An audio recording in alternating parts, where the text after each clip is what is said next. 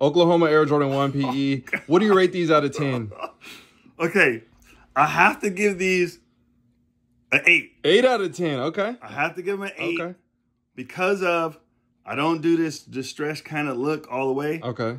This leather right here is butter. This is nice. That croc with the stingray. This is nice. But for me, no. When they do that, no. Okay, so out of all my Jordan PEs and stuff in my collection, what would you rate these? I would rate these, and I would put these in. I don't know, probably like 18th. 18th place. Yeah. You put the Oklahoma Sixes above the below those, but you rated them higher. How does this work? Make me understand a lot. Hold on, hold on. Here we go. You rated these uh 10 out of 10, Uh huh. but you rated them 20 out of the PEs. Right. And then you rated those at 8 out of 10, but you rated them higher than these.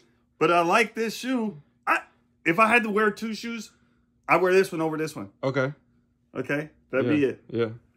But I still don't like that, and I don't like this. So either way, they just all right. No, they still sick. Okay, okay. I was just like- all right.